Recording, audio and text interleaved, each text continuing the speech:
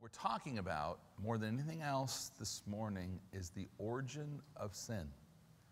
Where did sin come from? There are lots of discussions about creation and the world before Adam and, and all of this stuff. And some of the, when I use the word argument, not fight argument, but just some of the discussion points that are used to talk about this can be a little bit you know, in isolation, a little bit argumentative. I mean, you can sit and you have different opinions. But the important, the reason this whole thing is important is to understand the origin of sin. Where did sin come from? And the Bible's very clear on that.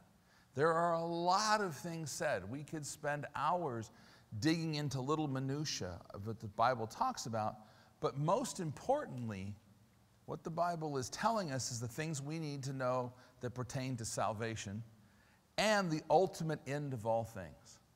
So when we talk about these issues, and however we talk about them, I'm to draw a little, just something that should be pretty familiar to most people, is something we call a timeline. So when we look at a line and we say there was a beginning, that's here, and there is a continuation of wherever point along this timeline we find ourselves, and there is an end, which may not be an end in the sense of everything ceases to exist, but an end of whatever it is that we're talking about. So when we discuss these things, we need to understand where's the beginning, where's the end, where are we in between, and when we're reading something that's written, what is the observation point of the person writing? When I say to you that next week is going to be a fair for people to come to the church and we're going to minister to them, that's one thing. If I say to you last week was, it's a completely different thing. And the person who's observing is talking about from their point along the line so that we understand that.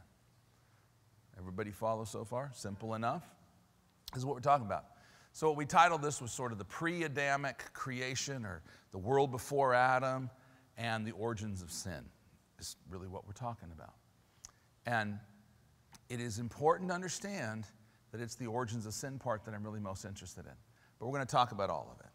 Okay, so we'll start with the scripture, which is where we always want to start. Father, we thank you for your word that you've given unto us. What a wonderful thing to do this for us, Father, to provide with us for us a word directly from your mouth that teaches us all the things that we need to know.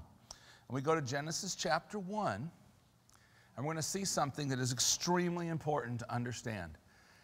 No matter what anybody says, this is what we teach, this is what we preach. In the beginning, it's over here, God created the heaven and the earth. The Bible, the scripture, is filled with statements about the fact that God created all things. It's filled with it. In the New Testament in Colossians, it says, For by him were all things created that are in heaven, that are in earth, visible, invisible, thrones, dominions, principalities, powers, all things are created by him and for him.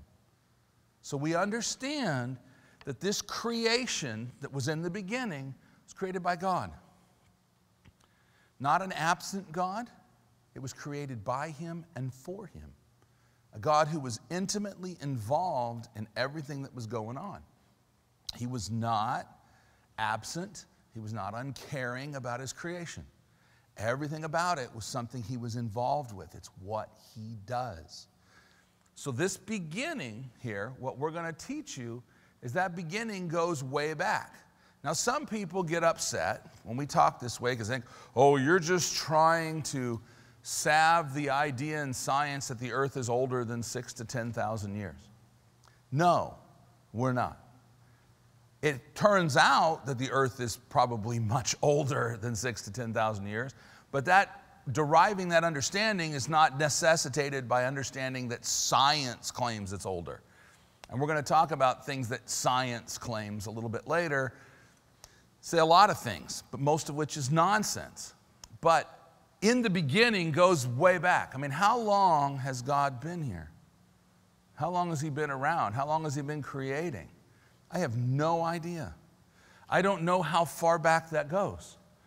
How many eons, people would say. How many years as we talk about. How, how I mean, who could say? Who can know? I don't know how far back God was creating. I don't know that at all. But we know that at some point in time, there was the creation of Genesis 1.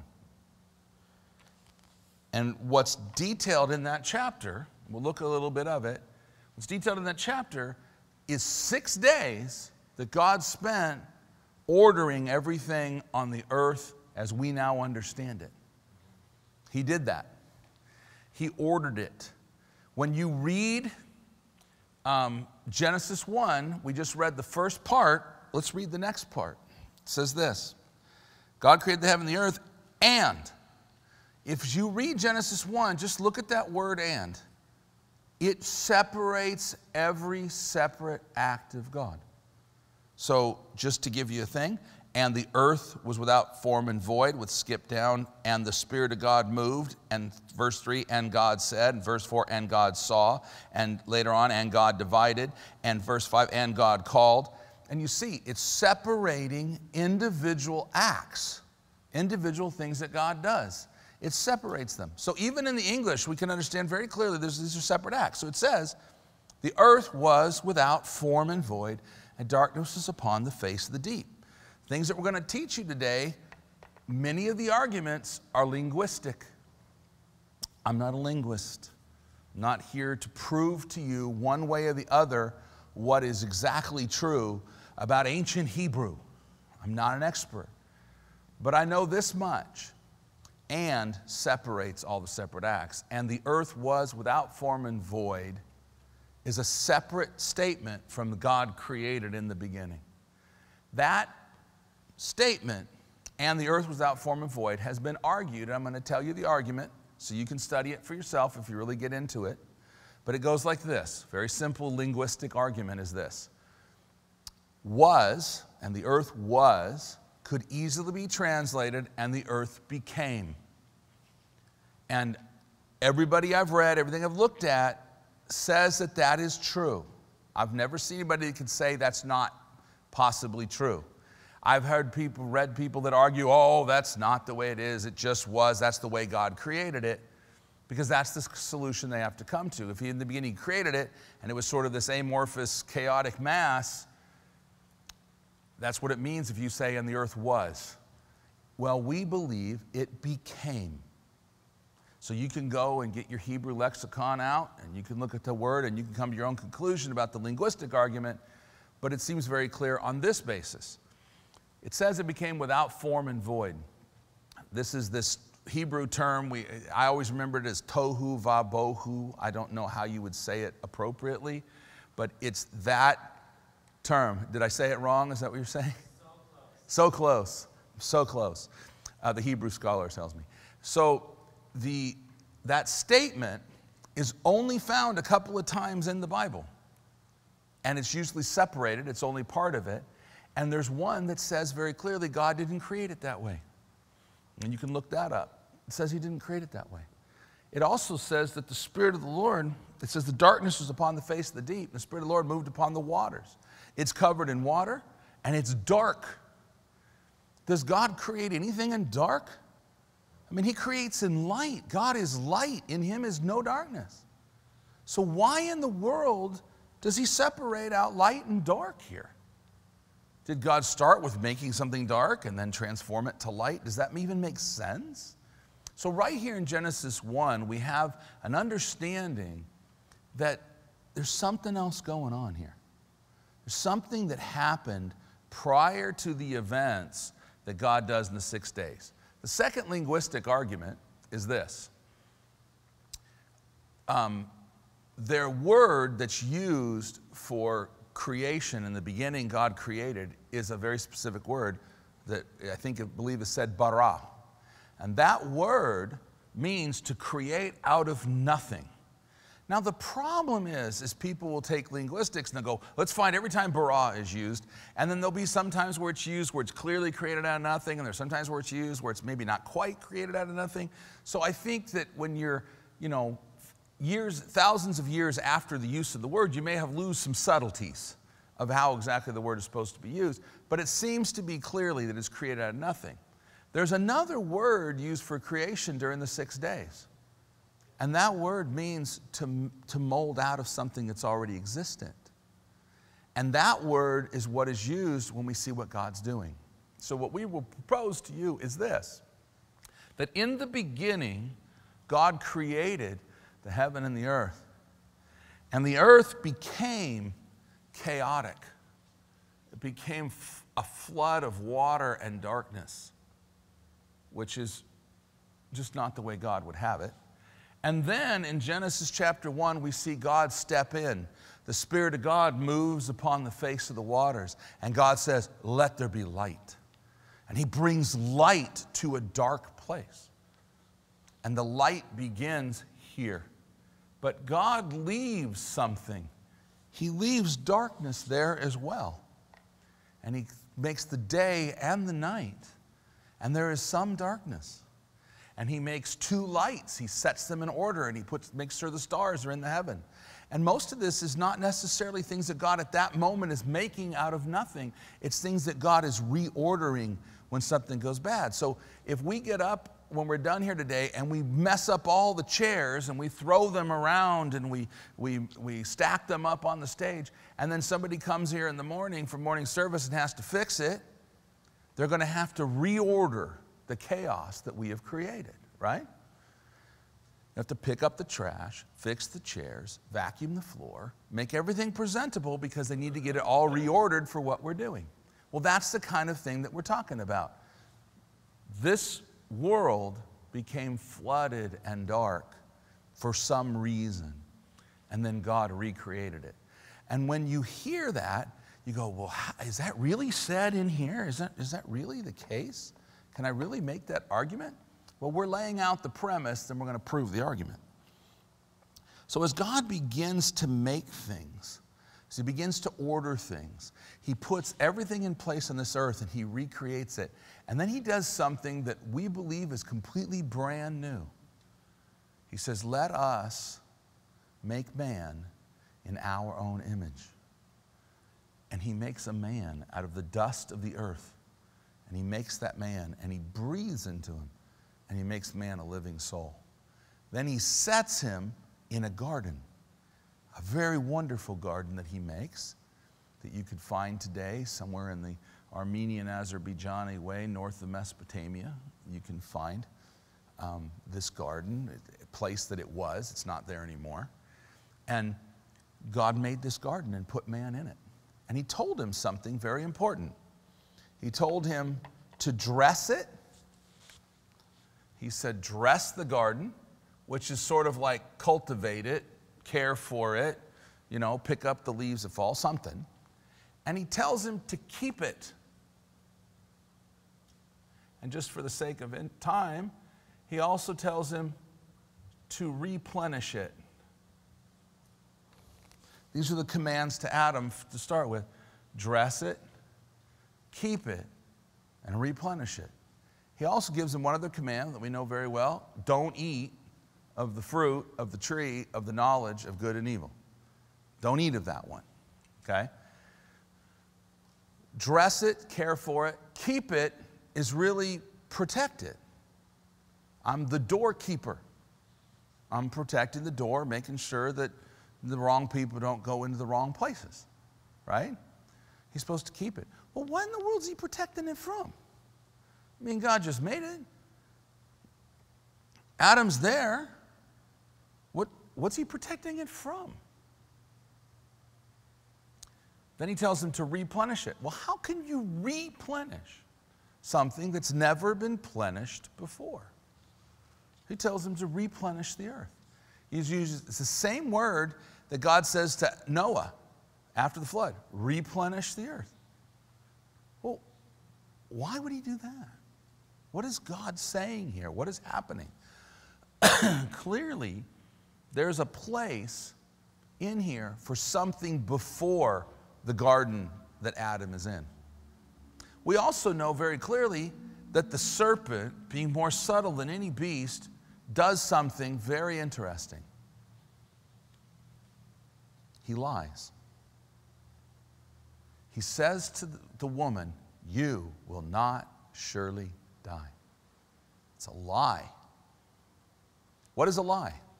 It is sin. Was sin existent before she ate of the fruit?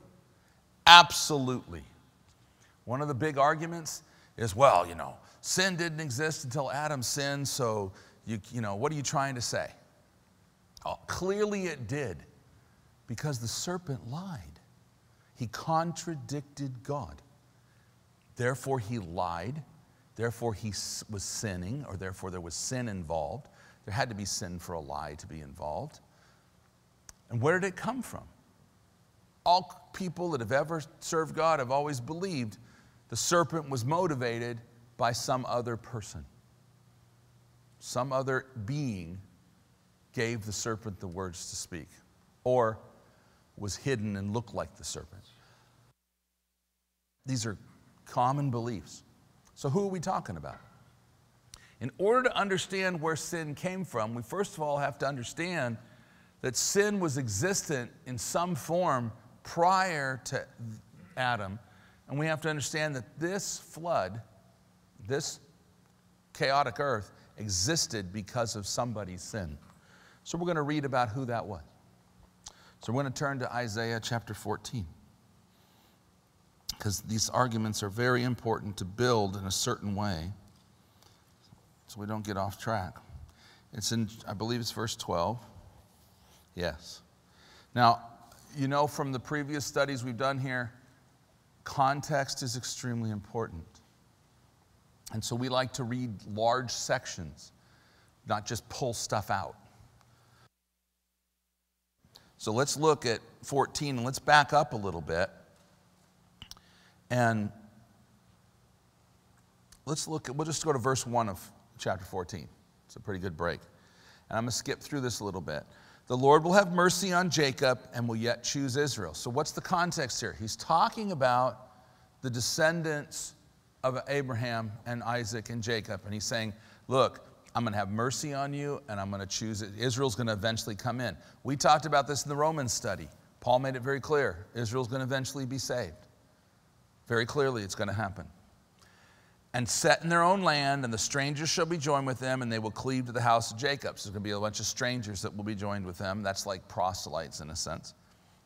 And the people shall take them, bring them to their place, and the house of Israel possess them in the land of the Lord for servants and handmaids, take them captives, whose captives they were, and rule over their oppressors.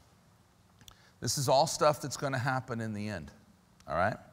And this is really, this scripture here really speaks to the end times. We talked about them in Daniel to some degree, and we'll probably talk about them more if we get a chance to do uh, more revelation stuff. But the point is, is that when Israel gets reinstituted, they're going to rule over their oppressors. It's really millennial reign stuff. They're going to rule over their oppressors. Okay, and that's the eventual end. Verse 3 It comes to pass in the day that the Lord shall give thee rest from thy sorrow, from thy fear, from the hard bondage wherein you were made to serve you will take up this proverb against the king of Babylon. Whoa, we're back in end time stuff clearly. And say, How hath the oppressor ceased, the golden city ceased? Okay, king of Babylon. Now think about where Isaiah is. Just in our timeline, if we think about, you know, who, where the observer, where it's talking about, here's Isaiah, all right? Here's the kingdom of Babylon and its greatness comes after. Nebuchadnezzar, who is the great king of Babylon that in biblical prophecy really is after Isaiah. So when Isaiah is saying this, how has the oppressor seized the golden city? See, he's talking about Babylon. He's talking about Babylon to come here, and he's also talking about Babylon at the end. But I'm, I'm getting off the beaten path a little bit, but I just want you guys to get the context. Understand what we're talking about. What is the scripture talking about? It's talking about end time stuff, but it's relating it to other things as well. Verse 5 The Lord has broken the staff of the wicked and scepter of the rulers. Verse 6 He who smote the people in wrath with a continual stroke, he that ruled the nation's anger is persecuted, and no one hinders. The whole earth is at rest and is quiet. They break forth into singing. Well, something changed. Yea, the fir trees rejoice at thee, and the cedars of Lebanon, saying, Since thou art laid down, no feller is come up against us. Hell from beneath is moved for thee to meet thee at thy coming. It stirs up the dead for thee, even all the chief ones of the earth. It is raised up from their thrones, all the kings of the nations. All they shall speak and say unto thee, Art thou also become as weak as we are? Are you become like unto us? Your pomp is brought down to the grave, and the noise of thy viols, or his instruments playing. The worm is spread under thee, the worms cover thee. What is he, what, what's going on here? He's talking about this king of Babylon in the future, and he's talking about what, you've come down and now you're like the rest of us. Now, in that context, what does he say? Verse 12 How are you fallen from heaven? O Lucifer, son of the morning. So, this Lucifer, which basically, as I understand it, is, is accuser, right? He's the accuser, he's the liar, he's the father of lies. He was in heaven and he's fallen. Jesus testified, I beheld Satan cast down out of heaven as a bolt of lightning. Okay? So he's been cast down. The end of the verse, how art you cut down to the ground, which did weaken the nations? So, who was the one who weakened the nations? Lucifer. And he's been cast down and he's been cast out of heaven. That's what's going on. Lucifer is amazing in his power, and now it's been cast down. And so they're asking the question Are you become like one of us? If you go to the book of Revelation, you'll see the final end of it where he is cast out completely, cast out of heaven, and he's, and he's on the earth, and his wrath is great. His rage is great. Okay? Verse 13 For you have said in your heart, I will ascend into heaven. I will exalt my throne above the stars of God. I will sit also upon the mount of the congregation in the sides of the north, which is a testimony of where God's throne is in heaven. I will ascend above the heights of the clouds. I will be like the Most High. Yet, yet, thou shalt be brought down to hell to the sides of the pit. He's going to be cast out. This is what's going to happen to him.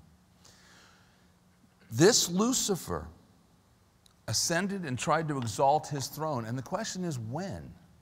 What throne? Do you see any statement of this kind of thing happening from the creation through the flood of Noah, through all things, where do you see it? Where did he try to exalt his throne? Is it future? Is it past? When did it happen? So we're going to go to another scripture that speaks of this. It's in Ezekiel chapter 28.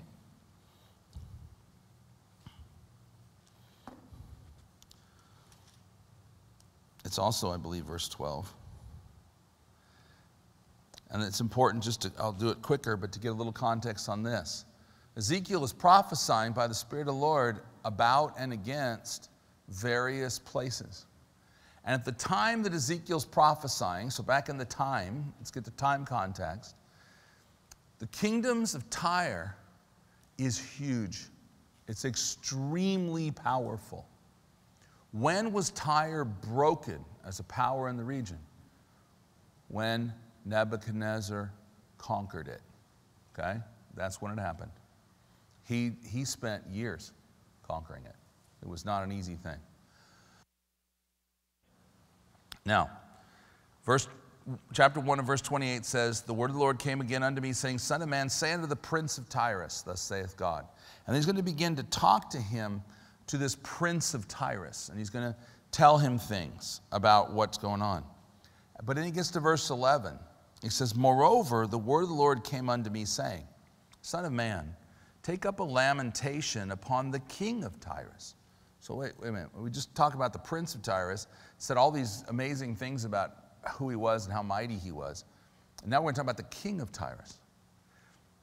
And saying to him, Thus saith the Lord God, You seal up the sum, full of wisdom, perfect in beauty. You have been in Eden, the garden of God. Oh, that's pretty wild. So, who was in Eden? Adam was there, Eve was there, serpent was there, right? So that's the only people we know of that were in Eden because afterwards God put a cherubim there with a big old flaming sword said you can't come in. So nobody else got to go into Eden. So he's telling this person, this king of Tyrus, you were in Eden, the garden of God. So is he talking to Adam? Well, Adam at this time, he's long gone. Long, long gone. He was gone long before the flood of Noah, and this is way after that. So he's talking to somebody else. Every precious stone was your covering. That's an interesting thing. The sardius, topaz, diamond, beryl, onyx, jasper, sapphire, emerald, carbuncle, and gold.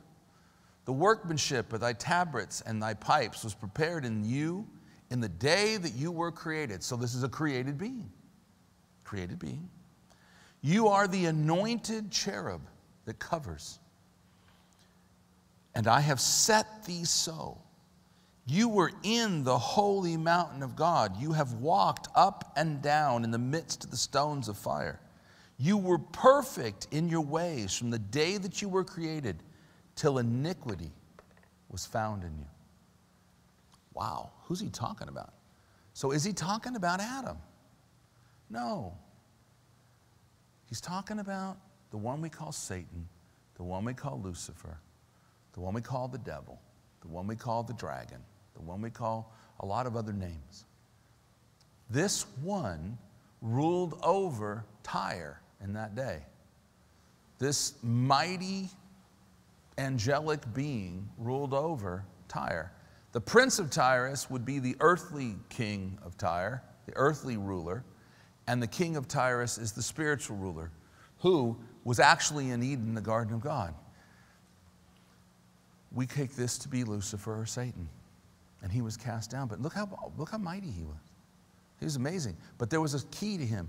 He was perfect until what? Iniquity was found.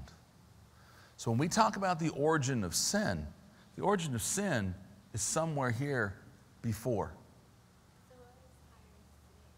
Tyre is off the coast of Israel. It's north, actually, of Israel and off the coast in the um, eastern Mediterranean Sea. It's very different than what it used to be. So, if I just took these out of context to what we're talking about and tried to make these arguments, you can see it can be a little bit difficult to try to pound it all together. But when you start asking these simple questions, what was Adam protecting the garden from? Why was he commanded to replenish the earth? Why was the earth formless and void and chaotic and dark? Something must have happened before. Now, how much information do we have in the Bible about the time between Adam and Noah? Very little. Why? Why didn't God write us a book that explained to us all the sins of our forefathers between Adam and Noah? Because He really doesn't want us to know. Okay? I mean, why do I, you know, I need you to understand what sin is so you can resist it, so I want you to have a marathon of very sinful movies to watch. Bad idea. It's a bad idea. What I would rather do is fill you with good things fill you with the joy of the Lord and the love of God and the fullness of His Spirit. And now you don't want that dark, ugly stuff, right? You don't have to tell a kid not to eat his canned spinach. It's just not a problem. But you do have to tell a kid not to eat something that he really likes. So if I really like righteousness and I hate iniquity, what did they say about Jesus? God testified of him. You have loved righteousness and you've hated iniquity. That, that is what we want. So, what are we going to teach people? To go sin until you get sick of it and hate it enough that you'll come to God? Or do we want to fill you with righteousness and goodness so that you'll just love that and you'll hate the uh, ugly? You're going to hate the ugly because you're full with the good, right? So God is not interested in telling us all the details of what on, went on there. But think about it this way it was so wicked that God wiped out the earth, the complete earth under Noah, wiped it out, except for eight souls. Eight. Eight people. Out of multiplied tens of millions, I'm sure. I mean, it, you can sit there and do math and extrapolate and how many kids and how long they lived. And, you know, remember, when people live for five to, to 900 years, it's, uh, it's, it's pretty easy quickly to get a lot of people. Okay? So, earth is filled with people. It's filled with people. And yet, God wipes it all out. Our loving, righteous God wipes them all out because their sin was so bad. So, God doesn't tell us a lot about it.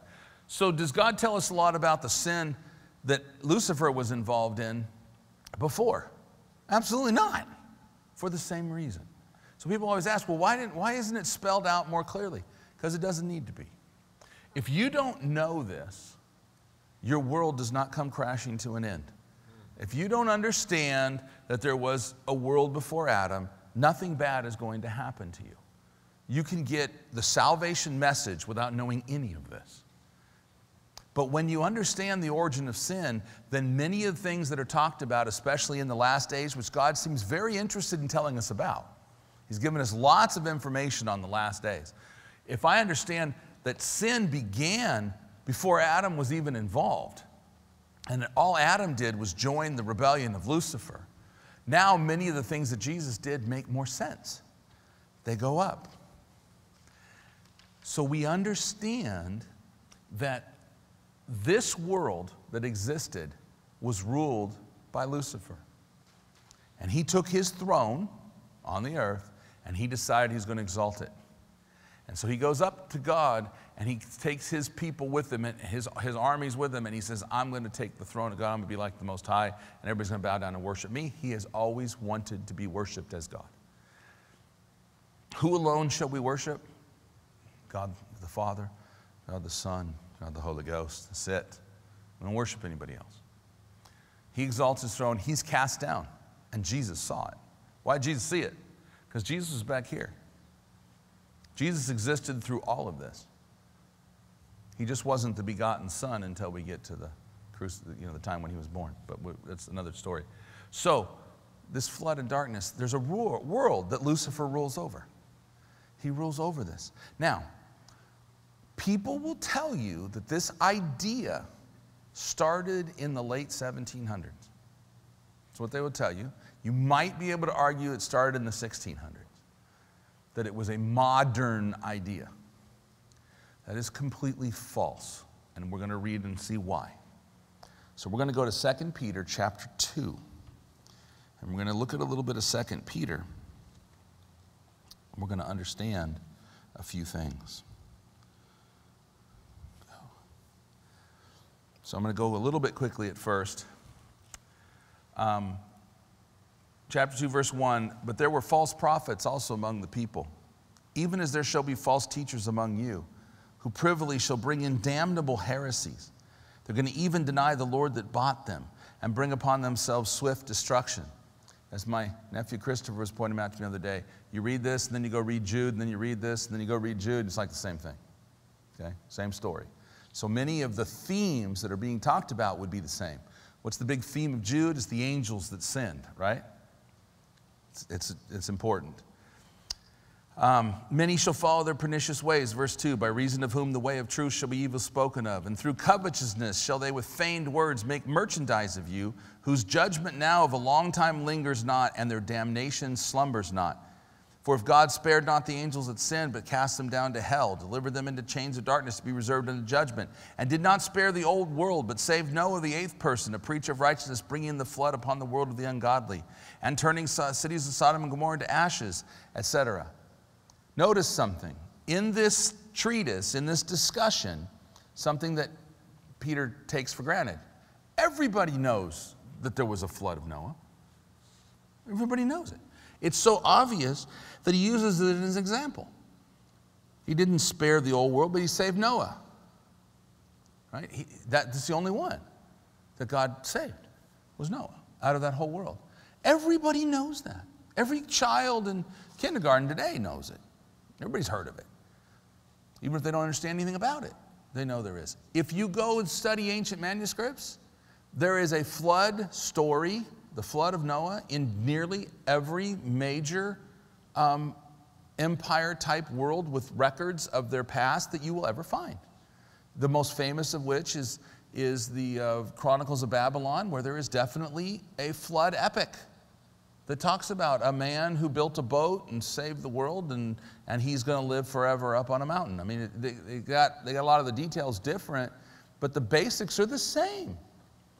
So this is not unknown to people. And that's a very important point because as we keep reading, we're to he's going to talk about something else that is not known to people. So, where are we talking in our timeline? Peter's way over here. He's way over here. Okay? That's Peter. He's looking way back. But Peter knows something by the Spirit of God that many people obviously don't know.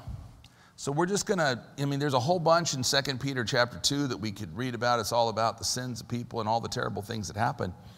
But we're going to get to chapter 3, verse 1. This second epistle, beloved, I now write unto you. I mean, look at this, that. He, all that was preliminaries, just preliminaries. I'm now writing an epistle to you. In both which I stir up your pure minds by way of remembrance, that you may be mindful of the words which were spoken before by the holy prophets and of the commandment of us, the apostles of the Lord and Savior. Knowing this first, you've got to know this first, that there shall come in the last days scoffers what are scoffers? People say, You people saying that God's going to judge the world are crazy. They're going to scoff at you. Oh, you're, you're one of those people that believes in that nonsense that the Bible says. Oh, you think that God's going to really do all these things. They're scoffers. Okay? They're going to come in the last days, scoffers. We see them today. They're going to multiply. People are going to come to the point where they just don't want to have anything to do with such ideas. Because after all, they're a lot smarter than that. And they know better because obviously you Christians are deluded into believing this nonsense from these you know, old books that you interpret in ways that you want to. This is scoffing, right? We don't like them. And they walk after their own lusts. You know, one of the most important things that distinguishes the people of God from the people who are not of God is the people of God say, I want to do what God says to do, and the people that are not God want to do what they want to do. It's, that really is fundamentally one of the big differences. You can take that to extremes, going to the cross. Peter, there's going to come a day in your life when your men are going to come and they're going to take you where you do not want to go. And Peter understood what it meant was he was going to have to go and be crucified because there wasn't much that Peter could think of that was worse. Okay? And then he asked, What about John? And Jesus said, Well, if I, I, I want him to live until I come, what difference is that to you? You go and follow me, and then everybody, everybody's got to follow God. But the important thing is, God, what do you want me to do? Not, here's what I want to do, Lord, please bless it. But that's the difference. It's really the fundamental difference. One is pride. We're going to talk about pride later because we're going to just talk about the devil a little bit more. But in the last days, there are going to be scoffers that walk after the lust and they say, Where is the promise of his coming? We, you say Jesus is coming back. Well, where is it? Where is the promise of his coming? For since the fathers fell asleep, all things continue as they were from the beginning of the creation. Everything's been, from the beginning, everything's been the same. Why you, you know, it was a big bang and we evolved and a whole bunch of stuff happened and it's never changed. For this, verse 5, they willingly are ignorant of. There's something they're willingly ignorant of. Now remember the point I made. In chapter 2, he was going, you know, Noah spared Noah and whatever. Everybody knows about that. They're willingly ignorant of something else. And here's what they're willing to ignorant of that by the word of God, the heavens were of old. Now, how old is of old? It's pretty old. And the earth standing out of the water and in the water whereby the world that then was being overflowed with water perished. But the heavens and the earth, which are now, by the same word are kept in store, reserved unto fire against the day of judgment and perdition of ungodly men. So we know that the day of fire is out here. Ugh, board is moving on me. Makes my bad writing worse. Okay? Fire, fire. We're reserved to fire. Go study the end times and you'll find out God's going to renovate the entire earth, everything by fire. That's happening. But there's a time in the past, I'm going to write in here that you know, Noah's in here, so we get Noah straight. Noah's in our timeline. Somewhere in the past, the world that then was, being overflowed with water, perished. Okay? Perished. And the, you know, the linguistic argument is that the cosmos or social system that is entirely different from the one that we now have. So, this world that perished is not the same as Noah's flood. How do we know? I told you the linguistic argument. The second argument is the one I made where Noah was clearly understood by everybody. He uses an example. You know, if you say today that the president is Obama, everybody knows the president's Obama. We all know that, right?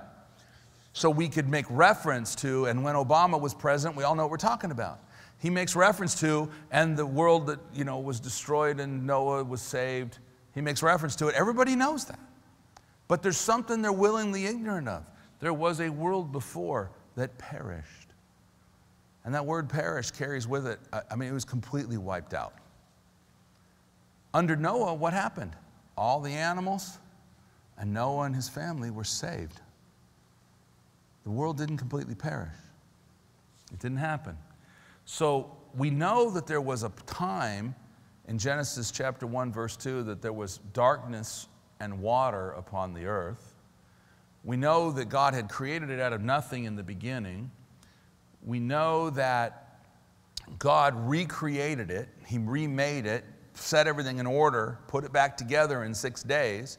And in part of that, He made a man and He told him to dress and keep it and replenish it over his time. So now we're reading Peter, they're, they're willing ignorant. They're saying there's gonna be no judgment of fire, but they're willing ignorant of the fact that there was a judgment in the past where an entire world was wiped out. Is the entire world going to be wiped out by fire?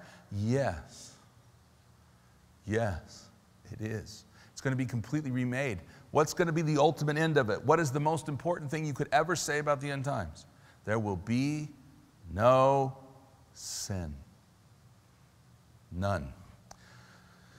So sin originated back here with Lucifer, who is known as the father of lies. He is known as the king of the children of pride. He is known as the one who exalted himself above God. What is one of the things that we learn to do? To submit ourselves to God. He is God and He made everything. We read that in Colossians 1. He made it all by Him and for Him. And then there was a judgment. How long ago? No idea. Don't have any idea. But there was a judgment. And in that judgment, something happened. So we're going to look at Jeremiah chapter 4.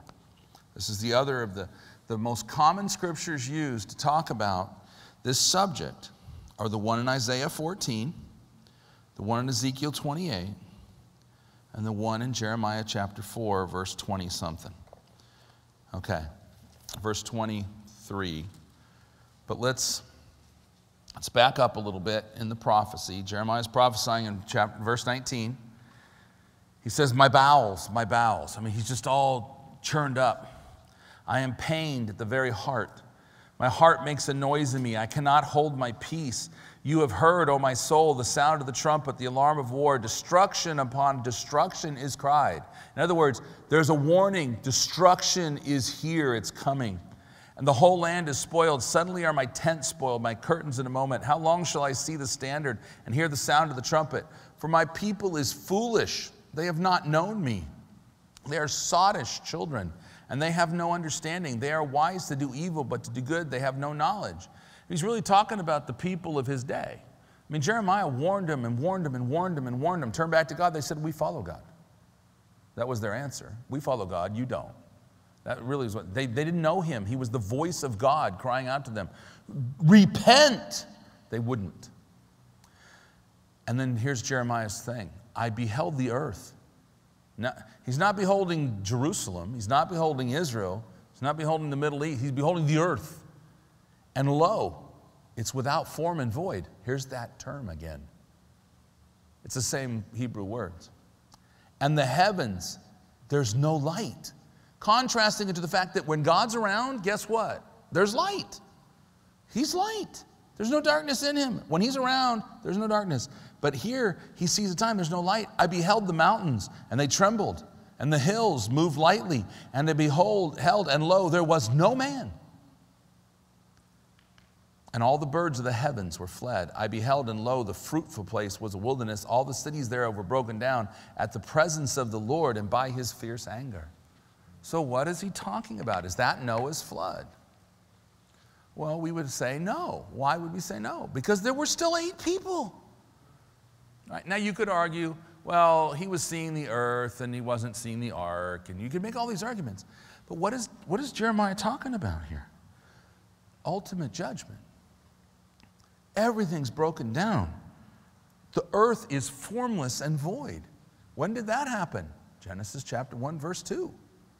There's a judgment that made it this way, which tells us that's what this is it's a judgment.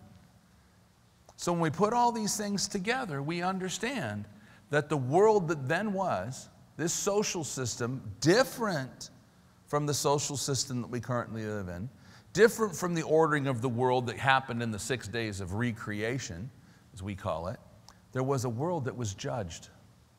We don't know a lot about that world. I could speculate about that world. I could make up some really wonderful sounding arguments, but I don't want to. I just want to know there was a judgment, and I don't want to be willingly ignorant of the fact that God will judge. What is going to sign of the last days? People scoffing. God is not going to judge. Who's God to judge us? He's not going to judge us. God's a God of love. He loves people. It doesn't matter you go out and sin. It doesn't matter you go out and do evil. That doesn't matter. God doesn't judge you. He's going to make everything right. He sent Jesus so your sin won't be so bad. No, Jesus is going to judge. His eyes are going to be flame of fire. He's going to come down with a sword in his mouth, and he is going to execute judgment upon all the ungodly for all the ungodly deeds that they have ungodly committed, right? There is clearly a judgment. And what Peter's referring to is there was a judgment before. And whatever that world was that Lucifer ruled over, whatever its character, whatever went on with it, God's plan was to what? Redeem it. God's plan always is to redeem it. He made it, He cares about it. You know, when you were a kid and you had your favorite toy and it broke, you wanted to fix it. You bring it to dad, fix it. Because you wanted it to be back the way it was. God loves us so much, He wants to bring it back the way it was. So, what He did was the Spirit of God moved in to the judgment, brooded over the face of the deep, and said, Let there be light. And there was light and they brought the light back. And in six days, he recreated it. And then he made something brand new. Why did he make something brand new? Because God had a purpose to redeem his earth. So he made Adam. And he made something that, as far as we know, has never existed before. He made a woman so that the two of them could bring forth a living soul. That's amazing. Once you step out of what I just told you, now you're going to go into speculation again. I could speculate a long way with that. I could talk about my understanding of what I think God was doing and all this, but I don't know. There's not scripture on it. But he makes Adam and he makes Eve and he sets them in his garden and he gives them everything to be theirs and he's going to teach them, he's going to train them, he's going to tells them to replenish the earth. And they fail. They fail.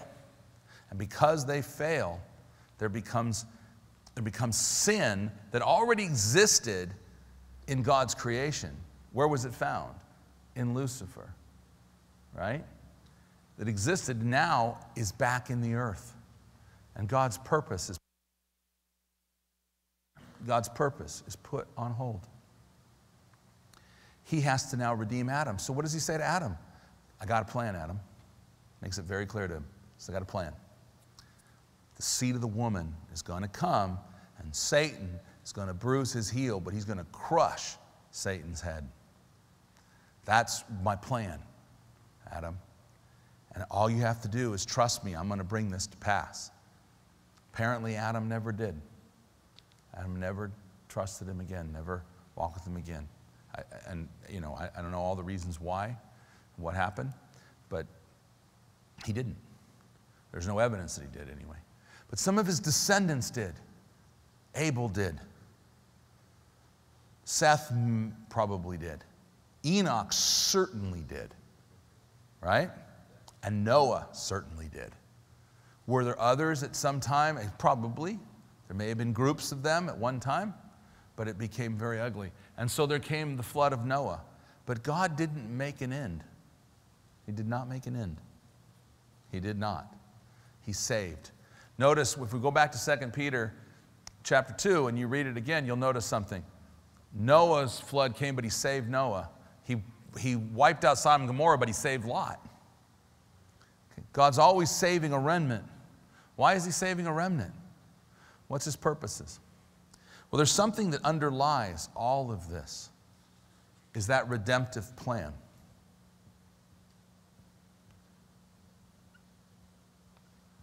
So when Adam and Eve were created and told to replenish the earth, they were supposed to remake, you know, they're supposed to rebuild a society on earth. They failed. God said, I have a plan. I'm going to send the seed of the woman. So we know that the seed of the woman was going to come from a woman descended from Adam and Eve. Had to be. There's nobody else to descend from. When Noah was the only one saved, where's the seed of the woman got to come through? It's got to come through Noah, right? Which, which son of Noah? Shem was chosen. Well, in the people of Shem, God found himself a man whose name was Abram. He called Abram and said, It's coming through you. In you shall all the people of the earth be blessed. In your seed, not of many, but of one, shall all the earth be blessed. And within Abram, he chose Isaac, not Ishmael. He chose Jacob, not Esau. That's, this is a whole other discussion. And then he chose, within the people of Jacob, he chose the tribe of Judah. And within the tribe of Judah, he chose a man. His name was David. He would be a descendant of David. And he rejected the line of Solomon, who was a descendant of David, but through the line of Nathan came a woman. Her name was Mary. And from the seed that she received by the Holy Ghost came the Redeemer. His name is Jesus. Right? I mean, that's the story that's going on underlying all of this. But there's going to come a day when Jesus is coming back. He's come to redeem the earth and he's going to come back to judge it in great wrath. The wrath of God will be poured out. But first of all, you're going to see what the wrath of sin does. And that's what um, Revelation tells us about, is all the wrath of sin, the devil's great wrath, and all the things that he does.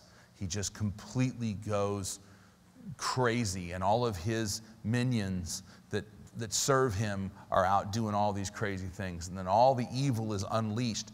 All the things that God and his redemptive plan has held back will be released.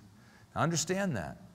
God, in his love and his mercy, holds back the wrath of sin itself, the hatred of sin itself. He holds it back. Who, who right now is the, is the entity that holds it back? the hinderer of lawlessness. Who is that? It's the church, the body of Jesus Christ. And when the church is removed, all hell breaks loose, is a term that comes from this idea. It just breaks loose. And then you see what happens. Just look at it. A third of the earth dies. We haven't even really gotten to the judgments of God yet. Okay? That's just the effect of sin. It's just ugly in, in an extreme. It's God's purpose. But God's judgment is going to be by fire, it's going to be at the end. And it's going to be after a millennial reign of a thousand years. It's going to be after a lot of things in the future. But at the end, God's going to judge by fire. And just like this social system was destroyed, that one's going to be destroyed by fire. But it's going to be the difference with fire and the flood is it's going to be renovated by fire and all made brand new. Will it take God six days to reorder it? I have no idea maybe six hours, maybe six years. I have no idea. Doesn't matter But when that fire judgment happens at the end, He's going to reorder it all, just like He reordered it here. Now, is it possible that if Adam had not sinned, that this reordering would have been all that we needed? You could speculate it's possible, but we'll never know. We'll never understand what God meant to be along the timeline if Adam had not sinned, because I'll guarantee you, God did not purpose Adam to sin. People tell you that, they're crazy. God did not purpose Adam to sin. Adam chose to sin. And he took something from God that God told him not to take. And that was the fruit of the tree of the knowledge of good and evil. And that's something the man has had to deal with ever since. Yes, he tested. She, she asked, Did he test Adam? Yeah. Just like he tests all of us. You know, Jesus was tested very sorely. He was tested and tempted. Why? Did God tempt him? No. No. Who tempted Adam? The devil. You know, we can say the serpent did. Okay, fine. The devil. Who tempted Jesus? The devil himself. Satan, Lucifer, the, the prideful one. He, he did it. And God allowed that. Why? Because man needed to stand up and show himself to say no to sin. What did Jesus do? He condemned sin in the flesh. He was in the flesh and he refused all sin. He was tested and tempted above what any of us can imagine. You know, we read the one temptation that's described by the devil. Believe me, that was not the end of it. One of the biggest temptations I would have had to deal with, when, if I could have made it through all those first ones, would have had to been deal with the way people mistreated him, lied about him, called him. Th- Why did he want to save them? Because his love understood it went far beyond the bondage and the lies that they had believed. And he wanted to give every opportunity for every single one to repent. That's what he wanted to do. So I hope what I've tried to do is build this. This is the first part where we're just talking about this from a biblical perspective. What are the biblical scriptures that apply to this? What are the questions you ask? I want to reemphasize some of them. One, why was it formless and void? dark and covered in water. You could have a lot of explanations for that, but that's a question. Why did he tell him to protect it or keep the garden? Keep it from what? The bugs? I mean, I, there was no corruption. Why did he tell him to replenish it? What was Peter talking about when no, we all believe they all knew who Noah was, but he was talking about a judgment that is to come and one that happened. And then Jeremiah tells us about a time when he views the earth prophetically and sees it as completely wiped out. And he's warning them it's going to be completely wiped out again.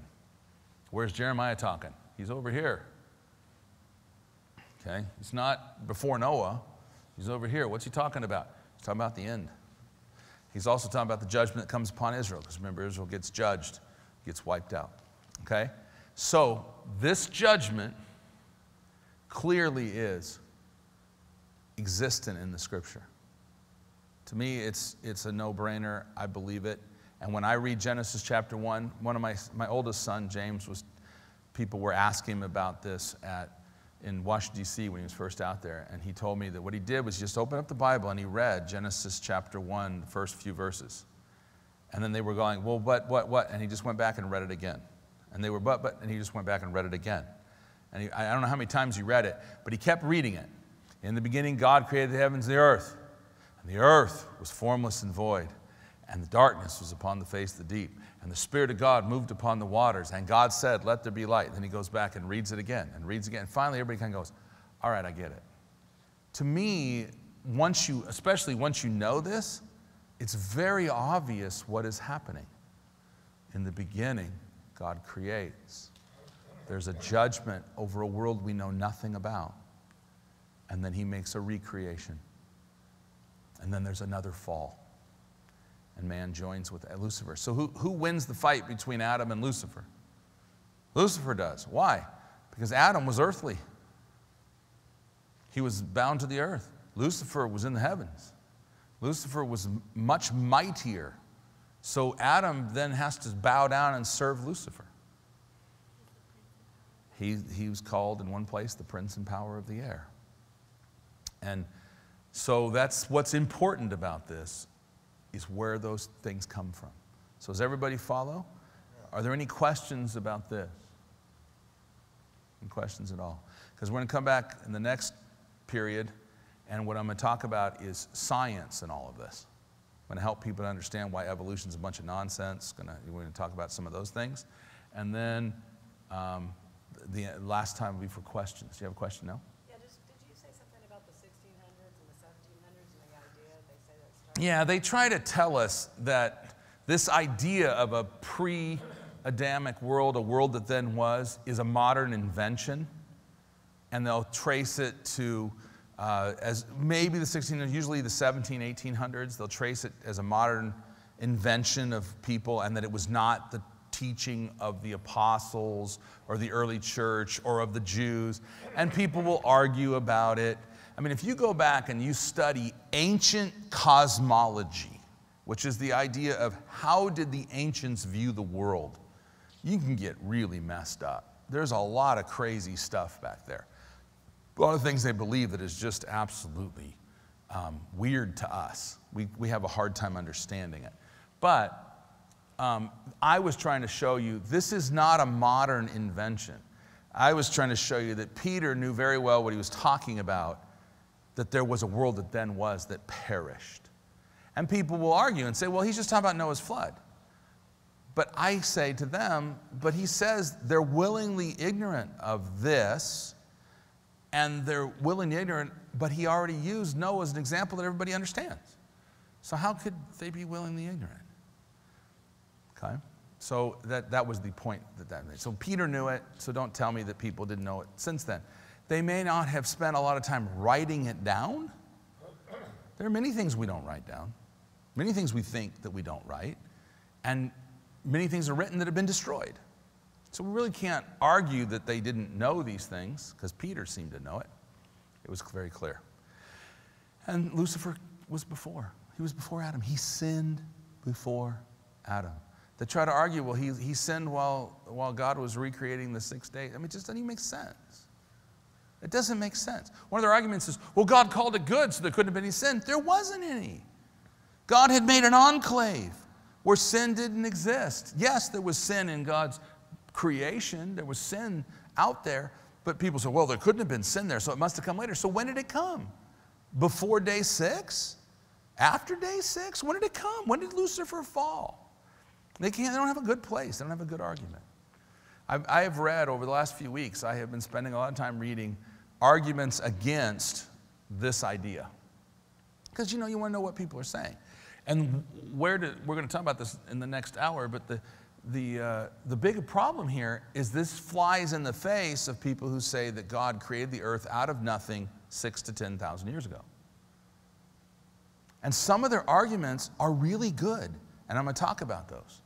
And some of their arguments are not really good because they're so wedded to this idea that the earth is only that old. Well, the earth could be even much older. I mean, is it a billion years old? I don't know.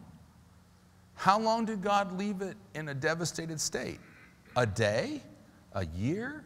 An eon? I don't know. I have no idea. The earth could be 12,000 years old, and in the beginning was 12,000 years ago, but I just have a hard time with that. I, I really, I, I just can't believe it's only that long. Now, maybe it is. I don't know. But the point is, is somewhere before something happened. And that we have really clear. And that is the origin, the beginning of sin. It began when somebody was lifted up in pride and said, Look at me. I, I am the most awesome being in the world. I am smarter, I am faster, I am stronger, I am whatever I am, I sing better. I'm the best. And so I am going to be the Most High. That was the beginning of sin. It teaches us very much how we want to make sure that we never find ourselves in any little way acting like that. Oh, I'm, I can't believe they didn't pick me. I can't believe they didn't choose me. I can't believe they didn't exalt me. How come they're not telling me how good I am? All thoughts such as that, they're evil. They are evil. And we need to treat them as such. We need to run so far from those. We need to just make sure that we are not a part of that at all. We don't want to be a part of that because that teaches us the origin of sin. It really began with pride. We talk about the lust of the flesh, the lust of the eye, and the pride of life. The most insidious of them all is the pride of life. It is the one that trips the most people, I believe, and gets us. We, we think, oh, I'm pretty good because I don't do all these lustful things and I don't do, you know, I don't steal from people. But I'm filled with pride? Ah! Help me. It's awful. It's terrible. So we'll take a break. You can run, go to the bathroom, get a drink, whatever you want, and we'll come back and talk about some science stuff. Reiterate something, just as everybody comes in. What we were attempting to do was make the argument for a pre Adamic world and the origin of sin solely from the scripture. Now, obviously, there's some tying things together and some words that I speak to try to flesh things out. And much of this becomes much more clear as you read the Bible more and more and more and you study even the end times more and more and more. But the, the attempt was to do that for one simple reason. Many people believe that the only reason this idea exists is because of science. Now, I like to begin with something about science so that everybody understands where I come from. I mean, I'm, I'm a chemist by training, medical doctor by training. I've been through about as much science as most anybody can go through. Okay, I understand scientific argument. What is the weakness of scientific argument? And it is simply this the scientific method relies upon the ability of man to observe with his senses to understand. So it says that repeatably observable results can come to a conclusion that is true.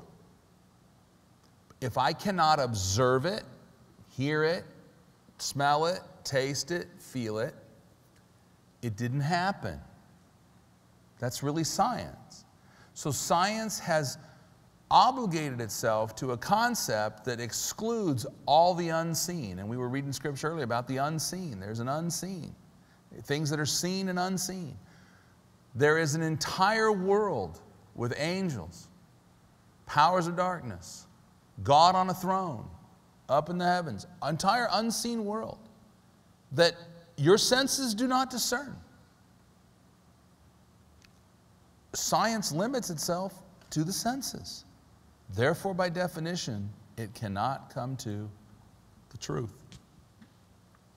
Is science the most successful of all of men's philosophies? It is. Why is it the most successful? Because it's based on a very simple truth God made things in an ordered way.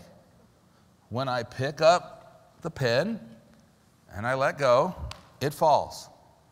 If I pick up the pen again, I let go, it falls. And I ask the question why does it fall? Well, it falls, and we have a construct, excuse me, that we call gravity. And then I could get into all the physics of gravity and the mathematics behind our understanding and all the things about why the pin falls. Then I can describe to you how fast it falls and why it accelerates so much. But uh, what am I doing? I am just explaining something that God made, right? So, in that, science is very useful. I'm very happy that when they engineered this building, they made it so the roof stays on and it doesn't fall down on top of my head. I'm very happy that when I turn on the lights, the electricity goes through the lines and the light bulb lights up and we have light. That's, that's science, that's engineering, that's mathematics. They are useful tools. Just like a shovel is a useful tool when you want to scoop up poop and put it someplace else. It's a useful tool. So, I am not anti science in any way, shape, or form. But science does not give me the end result of understanding in anything about God or about what He's doing. What tells me about God and what He's doing? His Word. He spoke a word, just like He spoke the earth into existence, spoke the heavens into existence, spoke and they were reordered. He speaks a word, and I hear the word, and I obey the word, and I'm blessed. I hear Jesus is your salvation. I run to Jesus, say He's my salvation, and I'm blessed. Right? So we exalt the Word of God above science. And people will claim that this, as they call it, theory, the term that you can look it up as is the gap theory. There's a gap of unknown duration between Genesis 1 1 and Genesis 1 2. They will call it that. It's sort of a derisive term, so that's why I haven't used it up to now. When I was talking about it at the beginning, I'm trying to give you solely the Bible. This was meant to be a biblical understanding of why we believe this. This is not a scientific understanding. But many of the critics of this so called theory will say that we only make this theory because we want to agree with science.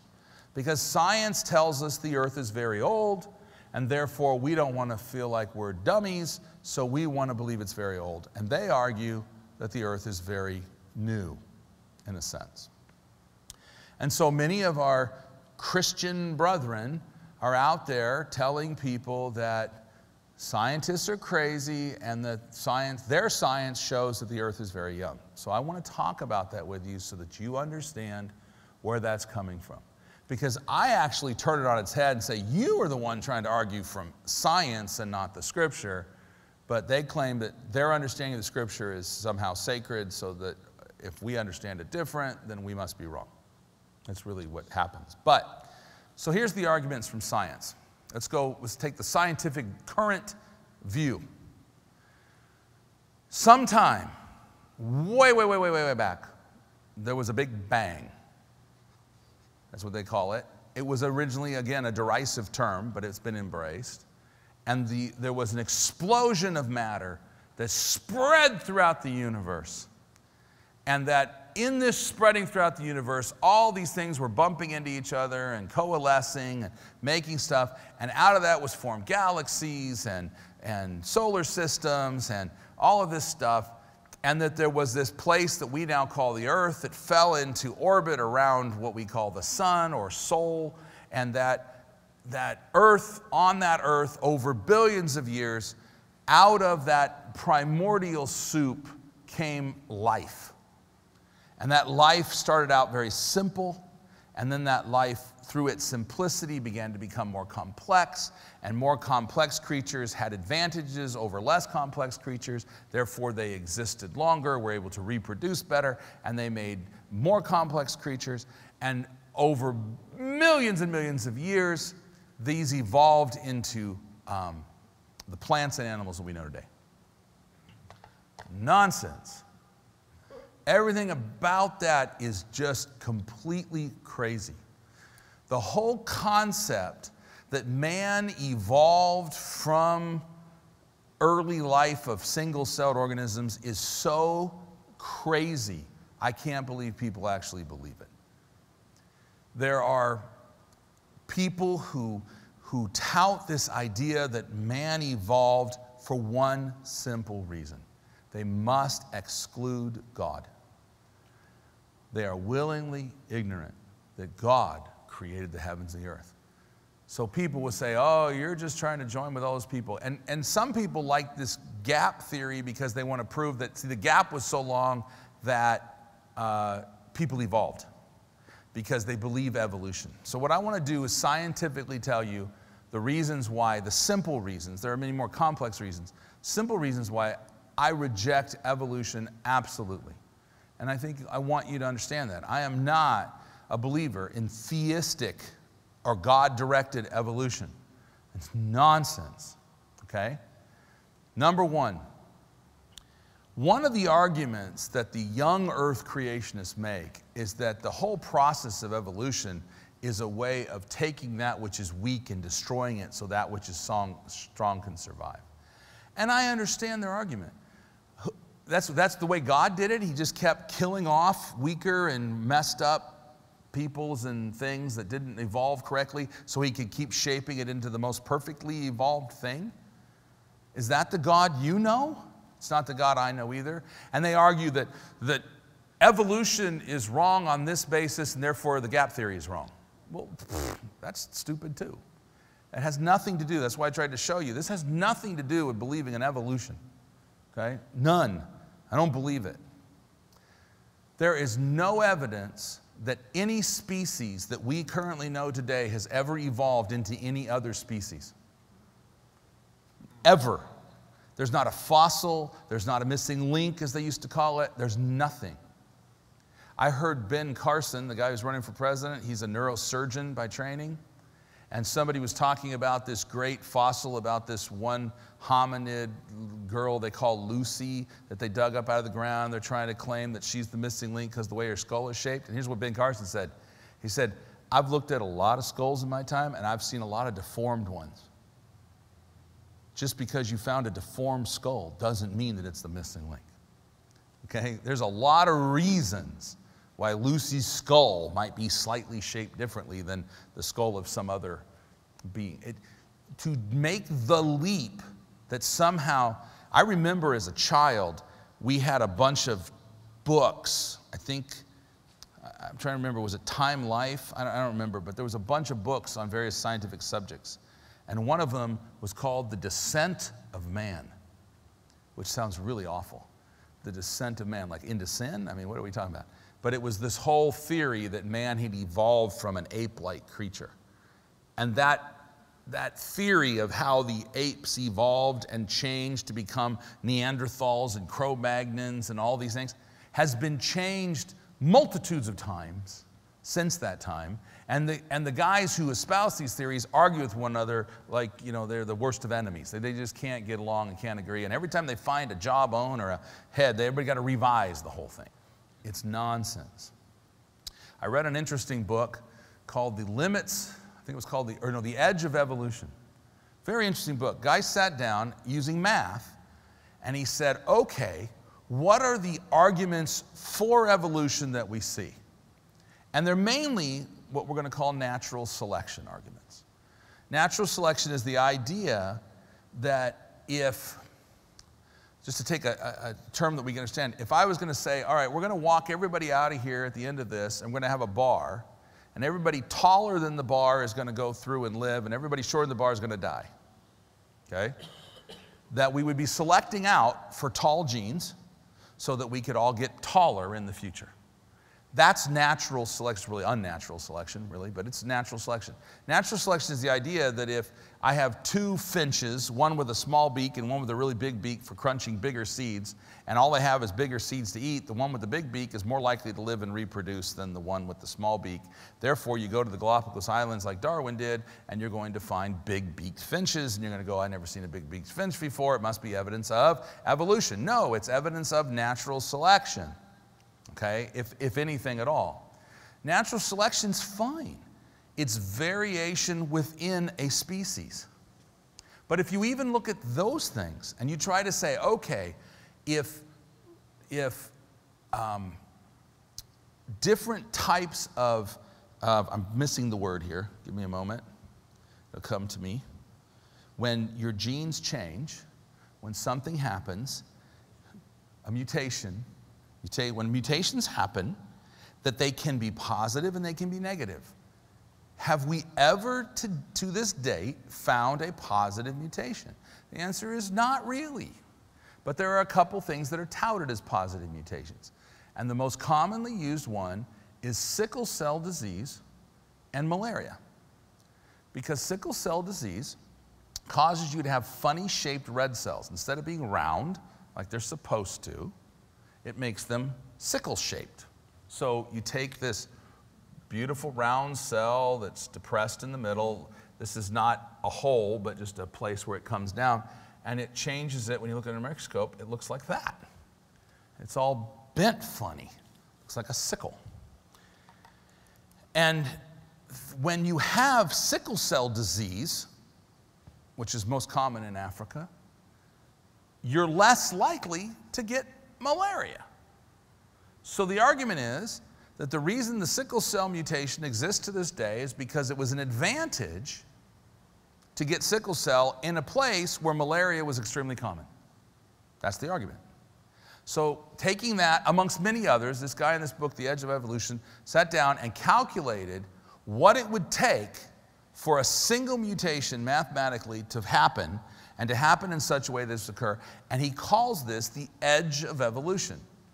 You know, what's the real chance that this could happen and how long would it take to get it to occur? Now, we can debunk the whole argument that this is even an advantage. I mean, it's just nonsense. That is a bad thing. Sickle cell is not good, doesn't help anybody. It's, it leads to early death and all kinds of problems. So, I mean, to argue that it's a positive mutation is crazy. But he, he, what he does is he takes the math, and I'm, I'm, I'm condensing this entire book down to a very, very short thing. The point is, evolution is so ridiculous on its face that just these single mutations could not happen fast enough for this to occur in any time frame that they could imagine. You talk about billions, trillions, quadrillions, uh, googolplex billions of years, it doesn't matter. You can never get there. Evolution has an edge. And if you've ever studied calculus, you understand there's a limit to things. There's a limit as you, you know, just you can't get any closer. You get closer and closer and closer, but you never quite get there, but there's no, you're not going to go any further. All right? The, evolution doesn't work mathematically. If I look and say, I take an eyeball and I say that each one of those things that developed an eye was a single mutation, well, each one of them is not helpful in and of itself.